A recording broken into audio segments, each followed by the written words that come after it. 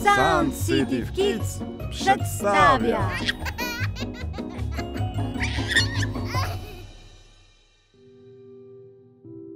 Sun City Kids przedstawia baśń audio Dziadek do orzechów. Na podstawie baśni Ernsta Teodora Amadeusza Hoffmana o tym samym tytule. Rozdział szósty. Choroba. Kiedy Klara zbudziła się z ciężkiego, jakby śmiertelnego snu, leżała w swoim łóżeczku, a jasne złote słońce zaglądało do pokoju przez zamarznięte szyby. Tuż przy niej siedział jakiś obcy pan, w którym poznała po chwili znajomego chirurga i usłyszała, jak powiedział z cicha: Obudziła się nareszcie. Matka podeszła do łóżka i obrzuciła Klarę trwożnym, badawczym spojrzeniem. Ach, droga mamusiu, wyszeptała Klara. Czy już te wszystkie okropne myszy poszły sobie stąd? Czy dziadek do orzechów jest uratowany? Nie pleć takich głupstw, kochana Klaro, odpowiedziała matka. Co wspólnego mają myszy z dziadkiem do orzechów? Ale ty jesteś niegrzeczną dziewczynką, bo narobiłaś nam wszystkim wiele kłopotu i napędziłaś strachu. Zawsze tak bywa, kiedy dzieci są uparte i nie słuchają rodziców. Wczoraj bawiłaś się lalkami do późnej nocy. Zachciało ci się spać i być może wyskoczyła jakaś myszka – chociaż właściwie nie. Nie ma u nas myszy. I przestraszyła cię, a ty wybiłaś jedną z szyb w szafie i skaleczyłaś się w rękę. Pan doktor, który właśnie wyjmował ci z rany kawałki szkła, jest zdania, że gdyby szkło przecięło ci żyłę, miałabyś na całe życie sztywną rękę, a nawet mogłabyś umrzeć wskutek upływu krwi. Dobrze, że zbudziłam się koło północy i nie znalazłszy cię w łóżku, poszłam do bawialni. Leżałaś zemdlona koło szafy z zakrwawioną ręką. O mało co i ja nie zemdlałam ze strachu. Wokół ciebie leżało mnóstwo ołowianych żołnierzy Freda, połamane figurki i ludzie z piernika. Dziadek do orzechów leżał na twojej zranionej ręce, a obok twój lewy pantofelek. Ach, mamusiu, mamusiu, przerwała Klara.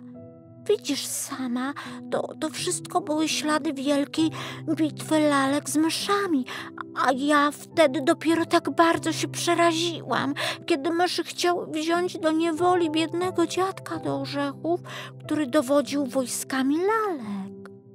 Wtedy rzuciłam między myszy mój lewy pantofelek, a później już nie wiem, co się stało. Chirurg mruknął porozumiewawczo w stronę matki, a ona powiedziała łagodnie: Nie myśl już o tym, drogie dziecko. Uspokój się. Myszy poszły sobie, a dziadunio stoi w szafie wesoły i zdrowy. Teraz wszedł do pokoju pan radca i długo rozmawiał z panem doktorem. Potem ujął Klarę za puls i usłyszała, że mówili coś o gorączce. Musiała pozostać w łóżku i brać lekarstwa. Trwało to przez kilka dni, chociaż mimo lekkiego bólu w ręce czuła się zupełnie nieźle. Wiedziała, że dziadek do orzechu wyszedł cało z walki i zdawało jej się nieraz, że słyszy jak gdyby przez sen jego wyraźny, ale smutny głos. Klaro, damo mojego serca, zawdzięczam ci wiele – ale jeszcze więcej możesz dla mnie uczynić w przyszłości.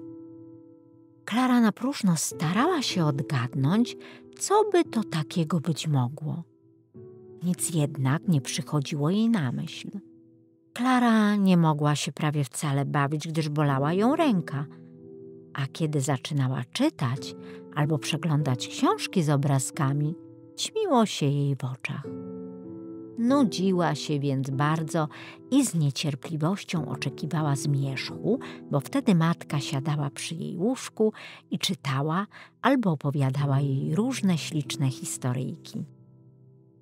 Właśnie mamusia skończyła piękne opowiadanie o księciu na szklanej górze, kiedy otworzyły się drzwi i wszedł ojciec chrzestny, mówiąc: Muszę wreszcie sam zobaczyć, jak się ma chora, zraniona Klara. Skoro tylko dziewczynka ujrzała ojca chrzestnego w żółtym surduciku, przypomniała sobie w tej chwili wszystko, co się stało owej nocy, kiedy dziadek do orzechów przegrał wojnę z myszami. Mimo woli zawołała głośno. Ach, ojcze chrzestny, jesteś taki niedobry! Widziałam dobrze, jak siedziałeś na zegarze i przykrywałeś go połami swojego surduta, żeby nie mógł być głośno, bo inaczej przestraszyłby myszy. Słyszałam dobrze, jak wołałeś króla myszy. Dlaczego nie przyszedłeś z pomocą ani dziadkowi do orzechów, ani mnie?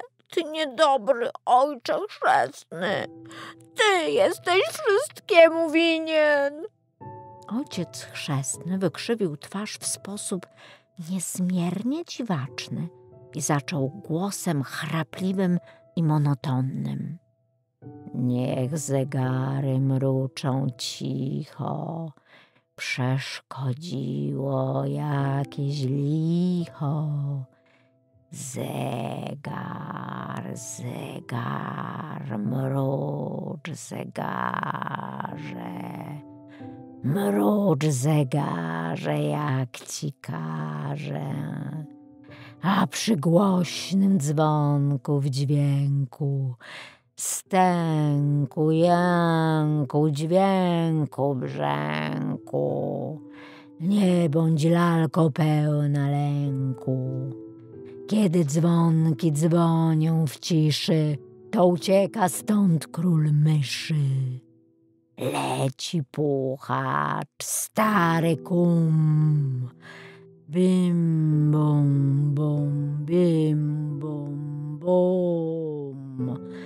Dzwonki dzwonią, słychać brzęk, a zegary mruczą cicho. Przeszkodziło jakieś licho, brzęgi, stęk, jęgi, dźwięk. Klara zdrętwiała, z szeroko otwartymi oczami patrzyła na ojca chrzestnego, który wyglądał w tej chwili zupełnie inaczej jeszcze brzydziej niż zwykle. Prawą ręką wymachiwał przy tym jak lalka, którą się porusza przez pociągnięcie sznurka. Przeraziłaby się jeszcze bardziej, gdyby nie to, że obok stała mamusia i gdyby Fred, który znalazł się w pokoju, nie przeszkodził sędziemu, śmiejąc się głośno. Ojcze chrzestny! wołał. Jesteś dzisiaj znowu taki strasznie zabawny. Ruszasz się zupełnie tak samo jak mój pajac, którego już dawno wyrzuciłem za piec. Matka miała minę bardzo poważną i rzekła: Mój drogi sędzio, to jakiś bardzo dziwny żart. Co to właściwie ma znaczyć? O nieba! zawołał ojciec chrzestny ze śmiechem. Czyż nie znacie tej ślicznej piosenki zegarmistrza skomponowanej przeze mnie? Zawsze ją śpiewam przy łóżku takich pacjentów jak Klara. To mówiąc, usiadł przy jej łóżku i ciągnął dalej. Nie gniewaj się na mnie, że natychmiast nie wykułem królowi myszy jego siedmiu paroczu, ale to stać się nie mogło. Chcę zamiast tego sprawić ci wielką radość. Sędzia włożył rękę do kieszeni i powoli, powoli wyciągnął z niej dziadka do orzechów, któremu nadzwyczaj zręcznie wprawił wybite ząbki i umocował wywichniętą szczękę. Klara głośno krzyknęła z radości, a matka odezwała się z uśmiechem. Widzisz teraz, jaki dobry jest ojciec chrzestny dla twojego dziadka do orzechów? Musisz jednak przyznać, że dziadek do orzechów nie ma zgrabnej figurki i że twarzy jego nie można nazwać ładną. Jeżeli chcesz, to ci opowiem, w jaki sposób do jego rodziny wkradła się taka brzydota. A może znasz już historię księżniczki Pirlipaty, wiedźmy, mysi baby i zręcznego zegarmistrza? Zaraz, ojcze chrzestny, zawołał nagle Fred. Wprawiłeś zęby dziadkowi do orzechów, to prawda. I szczęka również tak mu już nie lata. Ale dlaczego zabrałeś mu jego pałasz? Ejże, odpowiedział ojciec chrzestny niechętnie. Wszystko musisz zganić. Nic ci się nie podoba, mój chłopcze. Co mnie obchodzi pałasz dziadka do orzechów? Wyleczyłem go, więc niech sam znajdzie sobie pałasz, jeśli zechce. Masz rację, powiedział Fred. Jest dzielny i na pewno potrafi sobie sam znaleźć oręż. A więc odpowiedz mi, Klaro, zapytał sędzia. Czy znasz historię księżniczki Pirlipaty? Nie, nie, odrzekła Klara. Opowiedz mi ją, drogi ojcze chrzestny. Mam nadzieję, rzekła matka. Mam nadzieję, kochany sędzio, że ta historia nie będzie tym razem tak straszna, jak twoje zwykłe opowiadania. Ależ nie, droga pani, odparł sędzia. Przeciwnie, to co opowiem będzie bardzo zabawne. Opowiadaj, opowiadaj! zawołały dzieci. I ojciec chrzestny zaczął swą opowieść.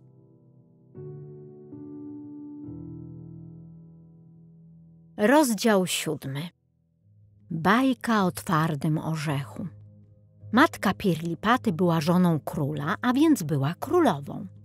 Pirlipata zaś już w chwili przyjścia na świat księżniczką. Król nie posiadał się z radości, patrząc na małą córeczkę w kołysce. Wykrzykiwał wesoło, tańczył, skakał na jednej nodze, wołając raz po raz. Hurra! Czy widział kto kiedy ładniejsze dziecko niż moja pirlipatka? A wszyscy ministrowie, generałowie, prezydenci i oficerowie sztabu skakali za królem na jednej nodze i wołali głośno. Nie, nigdy! Istotnie nie można zaprzeczyć, że odkąd świat światem, nigdy jeszcze nie urodziło się dziecko tak piękne jak księżniczka Pirlipata. Twarzyczka jej była jak gdyby utkana z płatków lilii i róży. Oczki błyszczały jak lazur, a śliczne loki wiły się złotymi puklami wokół jej główki. Ponadto Pirlipata przyniosła na świat dwa rzędy perłowych ząbków, którymi już w dwie godziny po urodzeniu ugryzła w palec kanclerza, kiedy chciał się jej przyjrzeć z bliska. O rety! Krzyknął kanclerz. Inni twierdzą, że krzyknął ojoj. Głosy w tej sprawie są do dziś dnia podzielone. Dość, że Pirlipata rzeczywiście ugryzła kanclerza w palec. A zachwyceni dworzanie przekonali się, że mała Pirlipata ma również spryt i rozum. Tak więc wszyscy byli szczęśliwi. Tylko królowa zdradzała obawę i niepokój, a nikt nie wiedział dlaczego. Szczególną uwagę zwrócił fakt, że kazała nadzwyczaj starannie pilnować kołyski Pirlipaty. We drzwiach ustawiona była straż. Dwie niańki miały siedzieć przy samej kołysce, a sześć innych dzień i noc nie opuszczać pokoju. A już zupełnym głupstwem którego nikt nie mógł pojąć, było to, że każda z sześciu nianiek musiała trzymać na kolanach kota i głaskać go przez całą noc bez przerwy, żeby nie przestawał mruczeć. Wy, drogie dzieci, na pewno nie wiecie, dlaczego matka Pirlipaty zastosowała te wszystkie środki ostrożności. Ale ja wiem i zaraz wam opowiem. Zdarzyło się kiedyś, że na dworze ojca Pirlipaty zebrało się wielu królów i książąt. Przyjęcie było wspaniałe. Urządzono wiele zabaw rycerskich, grano komedie i tańczono. Król chciał pokazać, że nie brak mu srebra ani złota i sięgnął głęboko do skarbca królewskiego, żeby czymś niezwykłym olśnić swoich gości. Nadworny astronom właśnie wyczytał w gwiazdach, że nadeszła odpowiednia pora na święto kiełbasy. Król zarządził rozpoczęcie uroczystości. Wsiadł do powozu i zaprosił osobiście wszystkich królów i książąt, ale tylko na łyżkę zupy. Chciał bowiem zaskoczyć ich niespodzianką, którą im przygotował. A do królowej odezwał się przyjaźnie. Wiesz przecie, moje kochanie, jak bardzo lubię kiełbasę. Królowa zrozumiała, co król chciał przez to powiedzieć. Znaczyło to, że miała sama, jak już nieraz bywało, zająć się sporządzeniem kiełbas. Główny skarbnik musiał natychmiast wydać do kuchni ogromny złoty kocioł do kiełbas i srebrne garnki. Rozpalono wielki ogień drzewem sandałowym. Królowa opasała się swoim kuchennym fartuchem za damaszku i wkrótce już unosiła się z kotła słodka woń gotowanej kiełbasy. Ten cudowny zapach dotarł aż do sali, w której obradowali królowie. Król, obładnięty zachwytem, nie umiał zachować zimnej krwi. Przepraszam, panowie, zawołał. Pobiegł szybko do kuchni, uścisnął królową, zamieszał w kotle swoim złotym berłem i wrócił uspokojony do sali obrad. Właśnie nadeszła najważniejsza chwila, kiedy słoninę miano pokrajać w kostki, żeby ją potem przysmażyć na srebrnym ruszcie. Damy dworu odstąpiły na bok, bo królowa chciała własnoręcznie wykonać tę czynność. Tak wielkie było jej poświęcenie, tak wielki szacunek dla królewskiego małżonka. Ale w chwili, kiedy słonina zaczęła się smażyć, dał się słyszeć cichutki, piskliwy głosik. Daj mi też, siostro, trochę słoninki. Ja także chciałabym ucztować, bo ja jestem królową. Daj mi troszkę słoniny. Królowa wiedziała dobrze, że to był głos mysi baby. Pani mysi baba mieszkała już od wielu lat w Pałacu Królewskim. Twierdziła ona, że jest spokrewniona z rodziną królewską i że jest królową mysiego państwa. Miała też pod piecem wspaniały dwór. Królowa była kobietą dobrą i miłosierną i chociaż nie chciała uznać mysi baby za królową i za swoją siostrę, postanowiła jednak i ją poczęstować w dniu tak uroczystym. Dlatego też zawołała. Chodź tu, moja droga pani mysi babo. Pozwalam ci połasować trochę słoninki. Mysi baba natychmiast wyskoczyła wesoło spod pieca i zręcznie małymi łapkami chwytała kawałki słoniny, które jej podawała królowa.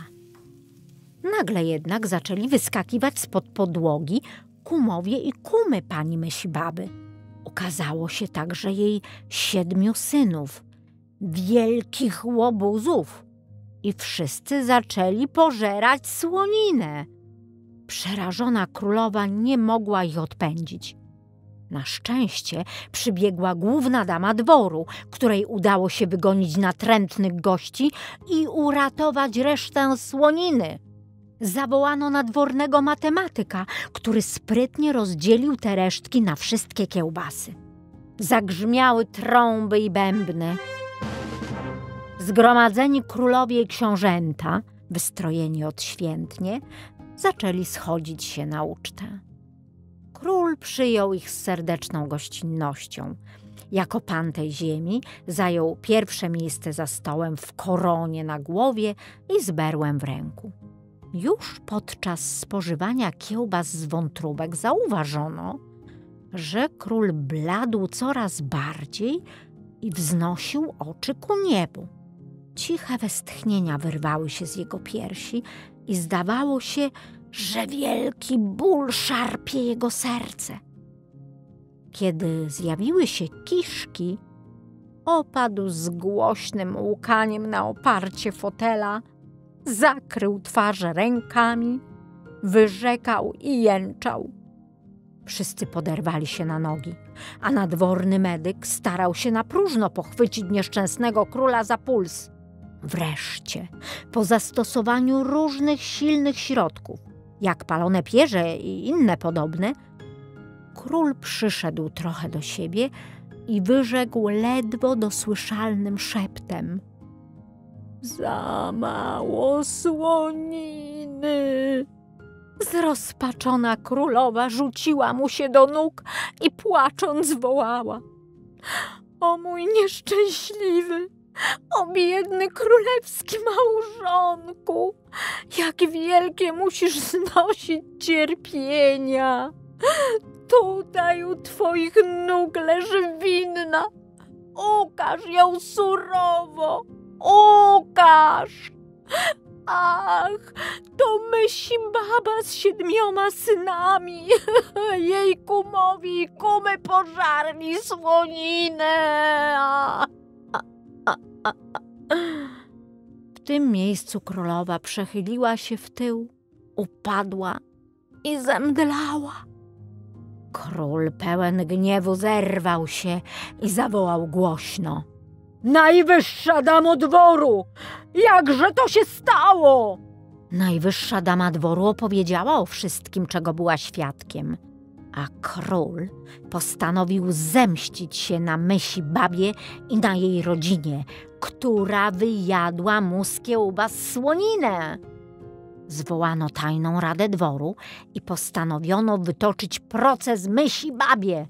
Ale ponieważ król obawiał się, że tymczasem mysi baba pożre mu więcej jeszcze słoniny, cała sprawa powierzona została nadwornemu zegarmistrzowi.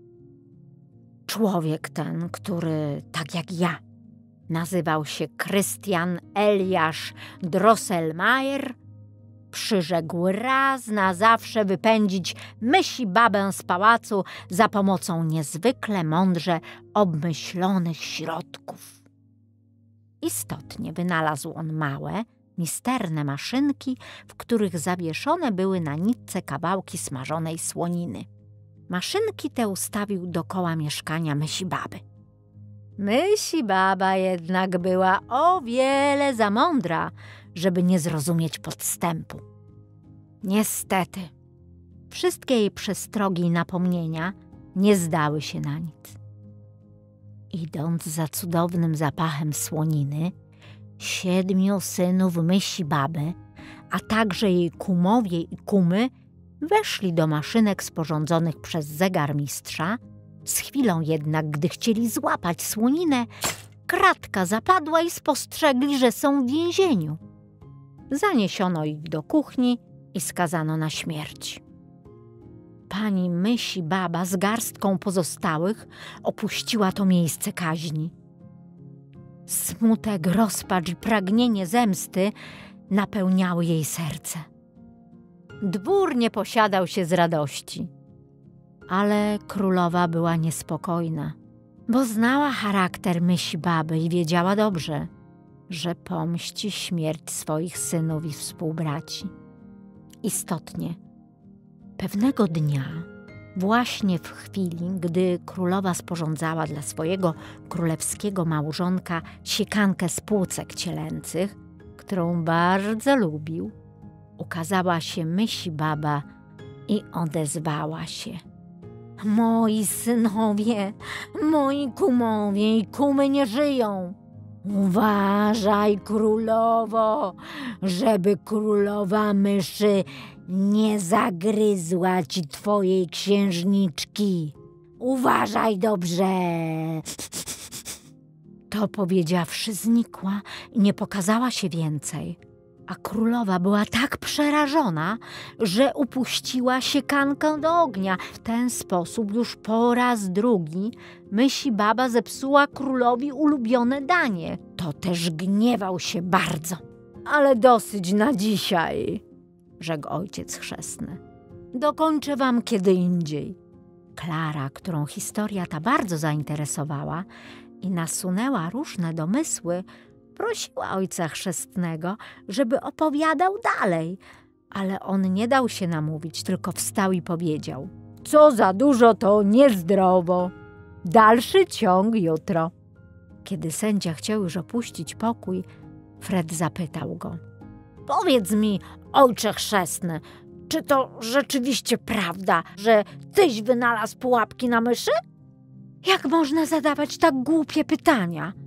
Zawołała matka, ale ojciec chrzestny uśmiechnął się tajemniczo i odparł. Jestem przecież świetnym zegarmistrzem. Jakże możecie myśleć, że nie umiałbym zrobić pułapki na myszy?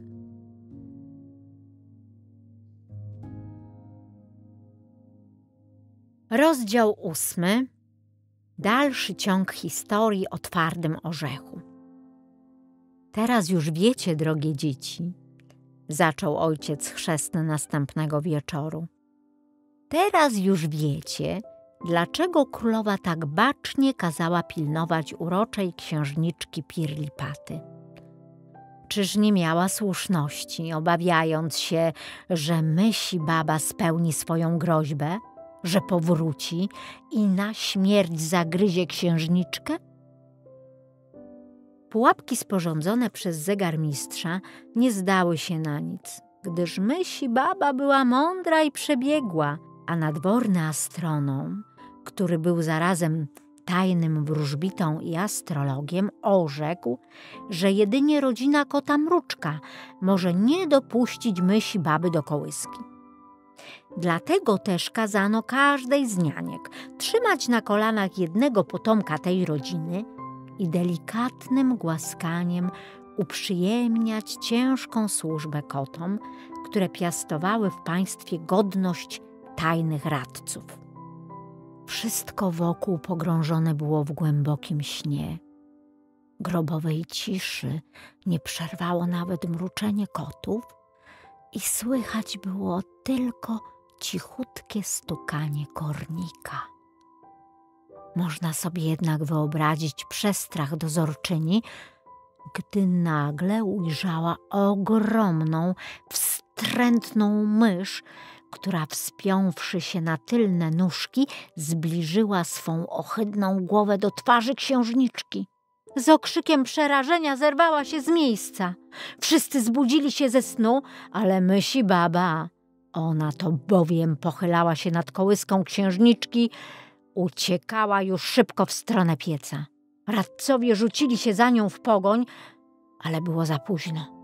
Myśli baba znikła w szczelinie podłogi. Hałas zbudził Pirlipatkę, która zaczęła płakać głośno i żałośnie. Żyje, dzięki Bogu! zawołały niańki. Ale jakież było ich przerażenie, gdy spojrzały na księżniczkę, która jeszcze wczoraj była tak delikatną i śliczną dzieciną.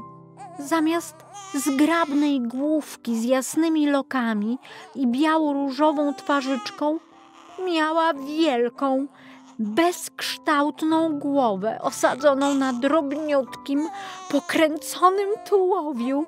Błękitne oczki stały się zielone, wypukłe i pozbawione wszelkiego wyrazu, a usta wydłużyły się i sięgały od ucha do ucha. Królowa traciła zmysły z żalu i rozpaczy a gabinet królewski musiano wytapetować watą, bo król raz po raz walił głową o ścianę, jęcząc rozdzierającym głosem. Jestem najnieszczęśliwszym z monarchów.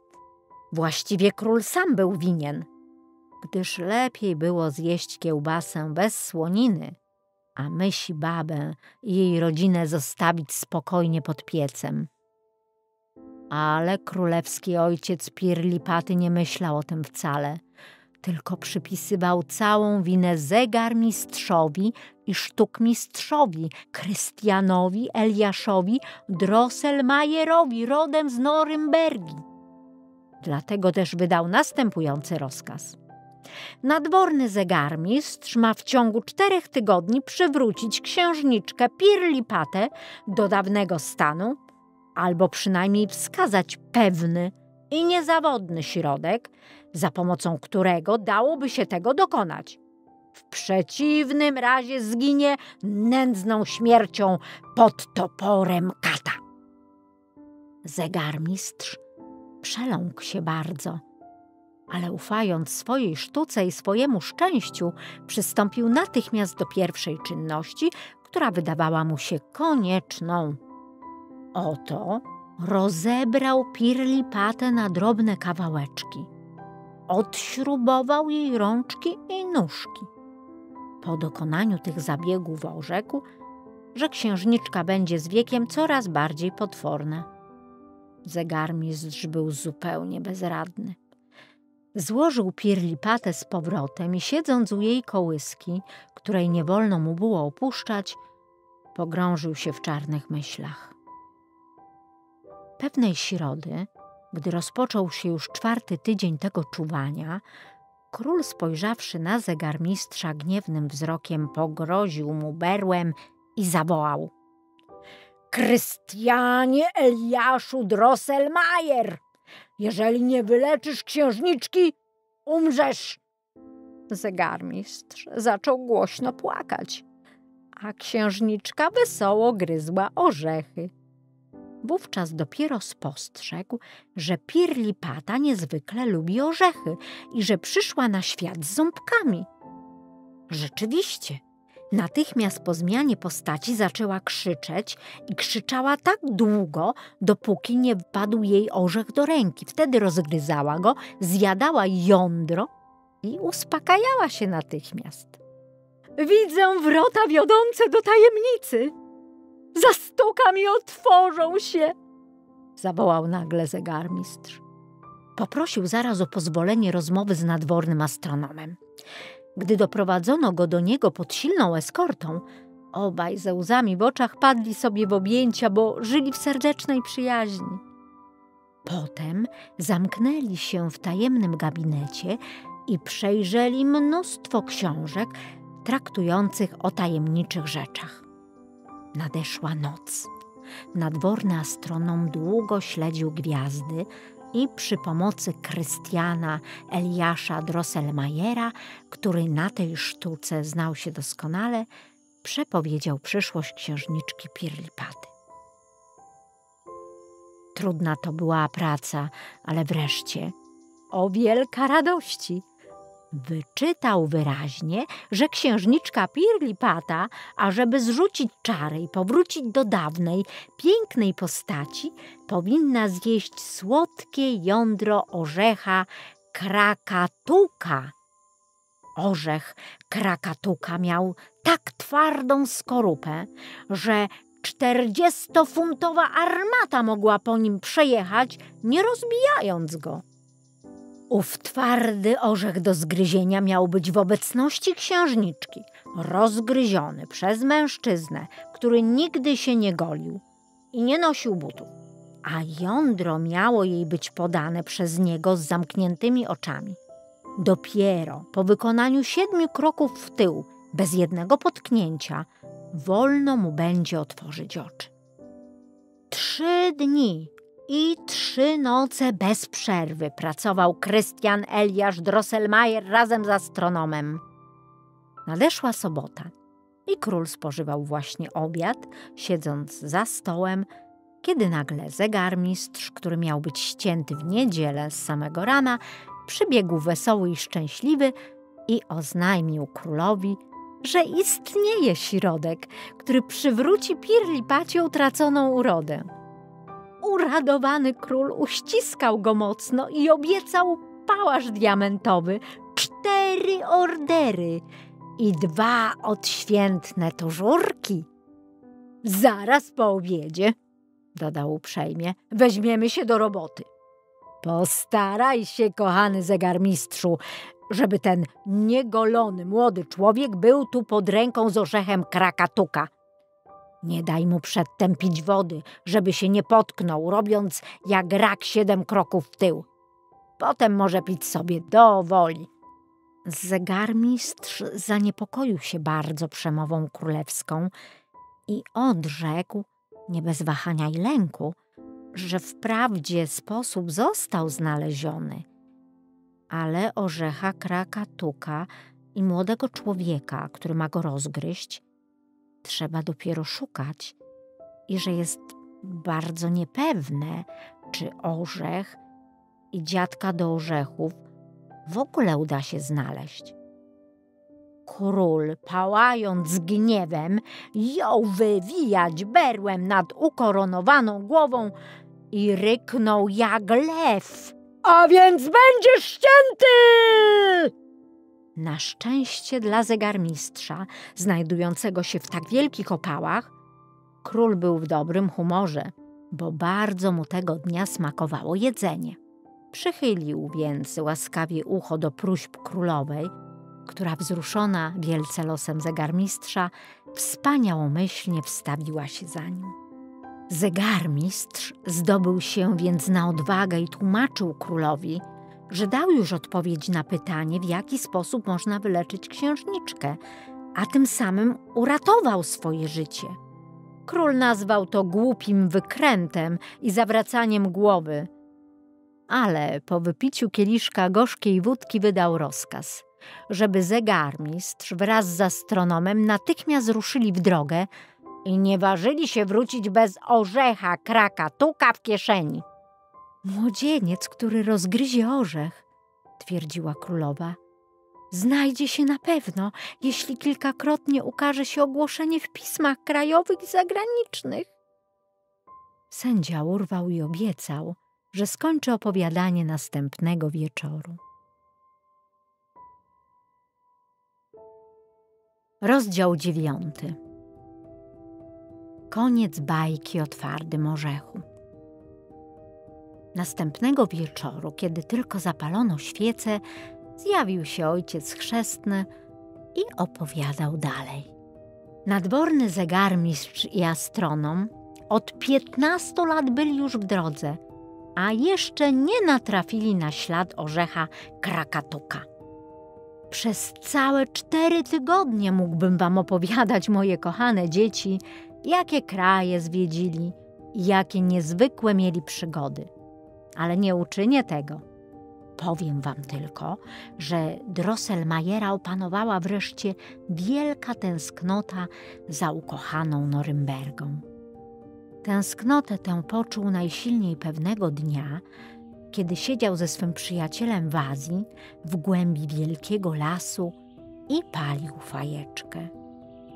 Za Norymbergą, miastem miłym, z całego serca zatęskniłem. Kto był we Francji, w Anglii, wszędzie, ten jeszcze za nią tęsknić będzie. Za Norymbergą, miastem miłym, z całego serca zatęskniłem. Kto był we Francji, w Anglii, wszędzie, ten jeszcze za nią tęsknić będzie. Za Norymbergą miłą moją, gdzie piękne domy rzędem stoją.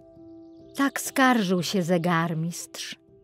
Astronom zaś zaczął także jęczeć żałośnie i tak głośno, że słychać go było jak Azja długa i szeroka. Opanował się jednak wkrótce, osuszył łzy, które kapały mu z oczu i rzekł. Ale czemuż, szanowny kolego, siedzimy tu i płaczemy? Dlaczego nie udamy się do Norymbergi? Czyż nie jest nam wszystko jedno, gdzie będziemy szukać tego fatalnego orzecha krakatuka? To prawda, odrzekł pocieszony zegarmistrz. Wstali więc obaj wyrzucili swaje resztki popiołu, opuścili gęsty las w głębi Azji i udali się prościutko do Norymbergi. Zegarmistrz pobiegł natychmiast do swojego kuzyna, tokarza lalek, lakiernika i złotnika, Krzysztofa Zachariasza Drosselmajera, którego nie widział od wielu, wielu lat po czym opowiedział mu historię księżniczkę Pirlipaty, mysi baby i orzecha Krakatuka. Krzysztof Zachariasz aż klasnął ręce z wielkiego zdumienia i wołał raz po raz. Ach, kuzynie, kuzynie! Cóż to za dziwaczna historia! Zegarmistrz opowiadał dalej o przygodach w podróży, o tym, że mieszkał przez dwa lata u króla daktylowego, że został sromotnie przepędzony przez księcia migdałowego i że na próżno informował się w towarzystwie przyrodników Wiewiórowie, słowem, że nigdzie nie udało mu się natrafić choćby na ślad orzecha krakatuka. W trakcie tego opowiadania Krzysztof Zachariasz trzaskał palcami, skakał na jednej nodze, mlaskał językiem, aż wreszcie zawołał. To by był dopiero szczęśliwy zbieg okoliczności. Wreszcie zaczął rzucać pod sufit czapeczkę i perukę, ściskać gwałtownie kuzyna i rzekł. Oj, mój kuzynie, mój drogi kuzynie, jesteś uratowany, bo jeżeli się nie mylę, posiadam właśnie orzech krakatuka. To mówiąc, wyciągnął pudełko i wyjął z niego złocony orzech średniej wielkości. Widzisz? Odezwał się, pokazując orzech kuzynowi. Sprawa przedstawia się następująco. Przed wielu laty, wkrótce po Bożym Narodzeniu, zjawił się tu jakiś obcy człowiek z workiem orzechów na sprzedaż. Właśnie pod moim sklepem z lalkami napadł na niego miejscowy sprzedawca orzechów, który nie życzył sobie, żeby w pobliżu ktoś inny sprzedawał orzechy. Wtedy człowiek ten, by lepiej się bronić, zdjął worek z pleców i postawił go na ziemi. W tej chwili nadjechał wysoko naładowany wóz ciężarowy i zmiażdżył wszystkie orzechy oprócz jednego – który mi obcy sprzedawca zaofiarował pod warunkiem, że zapłacę za niego złotą monetą dwudziestomarkową z 1720 roku. Nie mogłem wprost zrozumieć, jak to się stało, że właśnie taką monetę znalazłem w kieszeni. Kupiłem więc orzech, pozłociłem go sam nie wiedząc, dlaczego tak drogo za niego zapłaciłem i dlatego tak wielką wagę do niego przykładam. Wątpliwości co do tego, czy orzech tokarza lalek był istotnie orzechem krakatuka, ustąpiły, kiedy nadworny astronom zeskrobał ostrożnie po złote. Na orzechu widniało słowo krakatuka, wyryte w korze chińskimi literami. Wielka była radość podróżnych, a tokarz był najszczęśliwszym człowiekiem pod słońcem. Zegarmistrz bowiem zapewnił go, że przyszłość jego od tej chwili jest zabezpieczona, że będzie pobierał pokaźną pensję, a w dodatku całe złoto do swego warsztatu będzie otrzymywał bezpłatnie. Zegarmistrz i astronom przywdziali już swoje nocne czepki i chcieli udać się na spoczynek, gdy astronom odezwał się nagle. Najdroższy kolego, szczęśliwe przypadki idą parami. Wierz mi, żeśmy znaleźli nie tylko orzech krakatuka, lecz także młodego człowieka, który go rozgryzie i księżniczce Pirlipacie poda jądro piękności. Jest nim syn twojego kuzyna. Nie pójdę spać, ciągnął dalej uradowany, gdyż pragnę jeszcze tej nocy przepowiedzieć młodzieńcowi przyszłość. Mówiąc to, zerwał z głowy swój nocny czepek i natychmiast przystąpił do obserwacji gwiazd. Syn tokarza Lalek był ślicznym i zgrabnym młodzieńcem, który jeszcze nigdy w życiu nie golił się i nie nosił butów. Był wprawdzie za czasów wczesnej młodości pajacem na kilku gwiazdkach, ale nie było tego wcale po nim widać. W czasie świąt Bożego Narodzenia nosił piękny czerwony tużurek obramowany złotem, pałasz przy boku, kapelusz pod pachą i miał kunsztowną fryzurę zakończoną z tyłu woreczkiem do włosów. Stał tak, cały błyszczący w sklepie swego ojca i rozgryzał orzechy młodym dziewczętom, które ochrzciły go ślicznym imieniem dziadka do orzechów. Nazajutrz rano uszczęśliwiony astronom objął zegarmistrza za szyję i zawołał. Mamy go, mamy! To na pewno on! Ale nie wolno nam, kochany kolego, zaniedbywać dwóch ważnych rzeczy. Po pierwsze, musimy dorobić twojemu drogiemu siostrzeńcowi mocny drewniany warkocz i połączyć go z dolną szczęką w ten sposób, żeby można ją było za pomocą warkocza silnie naciskać. Powtórę zaś, musimy po powrocie do stolicy starannie ukryć, żeśmy przywieźli młodzieńca, który ma rozgryźć orzech krakatuka, gdyż powinien on zjawić się dopiero po pewnym czasie. Wyczytałem bowiem w przepowiedni, że najpierw wielu młodych ludzi połamie sobie na tym orzechu zęby bez skutku. Wtedy król obieca księżniczkę i następstwo tronu temu, kto rozgryzie orzech i przywróci księżniczce utraconą urodę. Kuzyn Tokarz ucieszył się niezmiernie, słysząc, że syn jego ma poślubić księżniczkę Pirlipatę i zostać księciem, a nawet królem. Oddał go więc bez zastrzeżeń w ręce wysłanników. Warkocz, który zegarmistrz przyprawił swojemu młodemu i obiecującemu siostrzeńcowi, spełniał doskonale swe zadanie. Młodzieniec rozgryzał bez trudu najtwardsze pestki brzoskwini. Zegarmistrz i astronom natychmiast po znalezieniu orzecha Krakatuka zawiadomili o tym stolicę. Wydano zaraz odpowiednie rozkazy i kiedy nasi podróżnicy przybyli do stolicy ze swym niezawodnym środkiem na odzyskanie urody, zebrało się tam już wielu dorodnych młodzianów – a nawet kilku książąt, którzy dowierzając swoim zdrowym zębom, chcieli podjąć próbę odczarowania księżniczki. Wysłannicy przerazili się na widok Pirlipaty. Drobniutki tułów z małymi rączkami uginał się pod ciężarem wielkiej i nieforemnej głowy. Brzydotę twarzy potęgowała biała, bawełniana broda, okalająca usta i podbródek. Wszystko złożyło się tak, jak to przewidział nadworny astronom w swojej przepowiedni. Jeden za drugim podchodziły żółtodzioby i łamały sobie zęby i szczęki o orzech krakatuka, nie przynosząc tym najmniejszej ulgi księżniczce. Każdy z nich wynoszony przez dentystów, wzdychał bliski zemdlenia. To był czwarty orzech do zgryzienia.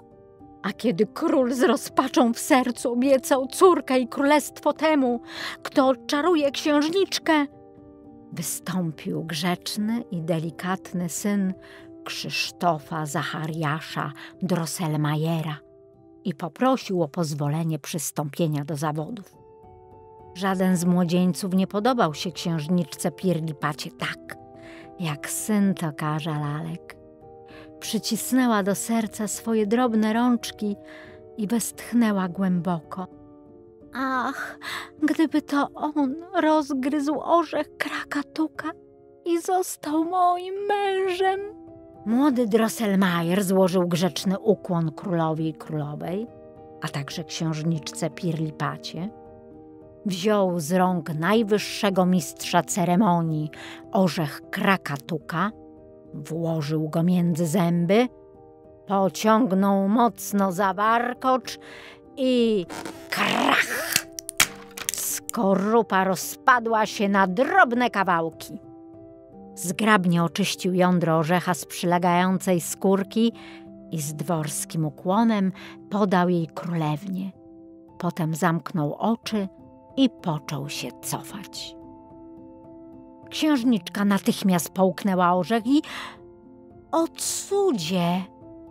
Cała brzydota znikła, a na miejscu potworka stała dziewica anielskiej urody, o twarzy, jak gdyby utkanej z płatków lilii róży, o wspaniałych, błękitnych oczach i pysznych, złocistych włosach.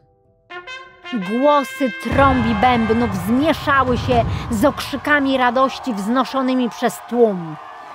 Król, a z nim cały dwór tańczył w kółko na jednej nodze, jak w dniu, w którym urodziła się Pirlipata. A królową musiano pokropić wodą kolońską, bo z radości i zachwytu wpadła w omdlenie. Głośny hałas zmieszał nieco młodego Drosselmajera, który odliczył kroki, lecz zdołał się jeszcze opanować. Właśnie wysunął w tył prawą nogę, by uczynić siódmy krok, gdy nagle z odrażającym piskiem wyskoczyła ze szpary mysi baba. A Drosselmajer, który w tej chwili właśnie miał stąpnąć na podłogę, przydeptał mysi babę i potknął się tak nieszczęśliwie, że o mało nie upadł. O losie straszliwy! Piękny młodzieniec przekształcił się nagle w takiego samego potwora, jakim była przed chwilą księżniczka Pirlipata. Tułów jego, drobny, idiotki, zaledwie mógł utrzymać wielką, bezkształtną głowę z ogromnymi, wypukłymi oczami i szeroko rozdziawionymi ustami. Zamiast warkocza zwisał mu z ramion wąski, drewniany płaszczyk połączony mechanizmem z dolną szczęką. Zegarmistrz i astronom przerazili się straszliwie – ale po chwili spostrzegli, jak myśli baba wiła się w kałuży krwi na podłodze. Złośliwość jej została ukarana, bo młody Drosselmajer tak mocno nadepnął na nią końcem swojego pantofla, że wyzionęła ducha. W lęku przedśmiertnym piszczała i kwiczała żałośnie twardy orzechu krakatuka, przez ciebie śmierć już do mnie puka, lecz dziadek długo nie pożyje, bo myśl król go wnet zabije. Niestraszne mu złośliwe dziadki, on pomści śmierć swej drogiej matki. Z tym okrzykiem umarła mysi baba i ciało jej zostało wyniesione przez nadwornego palacza. Nikt się nie troszczył o młodego Drosselmajera, ale królewna przypomniała ojcu jego obietnicę i król rozkazał przywołać bohatera. A gdy nieszczęśliwy wystąpił z tłumu w pełni swej brzydoty, królewna zakryła twarz obiema rękami i zawołała – Precz, precz z tym wstrętnym dziadkiem do orzechów! Marszałek dworu schwycił go za drobne ramiona i wyrzucił za drzwi. Król był oburzony na zegarmistrza i astronoma, że takiego potwora chcieli przeznaczyć mu na zięcia i kazał im na zawsze opuścić stolicę. Taki obrót rzeczy nie był przewidziany w przepowiedni. Astronom zaczął więc na nowo obserwować gwiazdy i wyczytał z nich, że syn tokarza lalek, pomimo swego potwornego wyglądu, zostanie księciem, a nawet królem. Dopiero wówczas jednak będzie mógł odzyskać swą postać, gdy zabije siedmiogłowego syna mysi baby, króla myszy, i gdy pomimo jego brzydoty pokocha go pewna dama. I rzeczywiście tak się stało, gdyż podczas świąt Bożego Narodzenia widziano młodego Drosselmajera w Norymberdze w sklepie jego ojca. Wprawdzie w postaci dziadka do orzechów, jednak jako prawdziwego księcia. Oto moje dzieci, koniec bajki o twardym orzechu. Wiecie już teraz, dlaczego ludzie mówią tak często. To był twardy orzech do zgryzienia – i dlaczego dziadki do orzechów bywają takie brzydkie. Na tym sędzia zakończył swoje opowiadanie. Klara była zdania, że księżniczka Pirlipata okazała się niedobrym i niewdzięcznym stworzeniem, a ojciec chrzestny odrzekł, że jeżeli dziadek do orzechów jest dzielnym mężczyzną, nie będzie sobie robił z królem myszy wiele ceregieli i wkrótce zdoła odzyskać swą dawną piękną postać.